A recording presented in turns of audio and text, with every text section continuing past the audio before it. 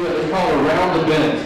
I have two golf ball balls here. You take one, put it in your uh, left hand, put it in your left hand. Now the gist of this game is simply you're going to put the golf ball in his left pants leg, and you're going to work that golf ball up one leg, around the bend, right, and down the other leg.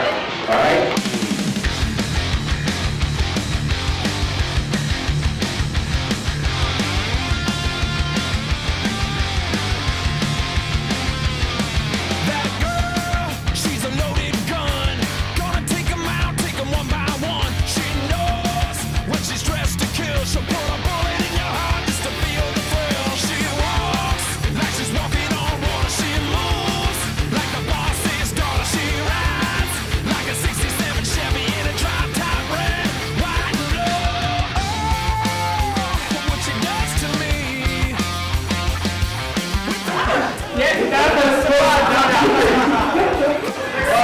Keep it going. Keep it going. Keep it going.